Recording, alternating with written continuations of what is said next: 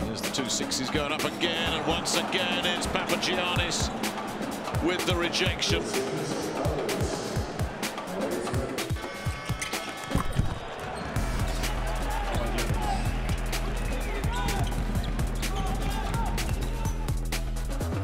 Collectus with a spin. The alley-oop, and now.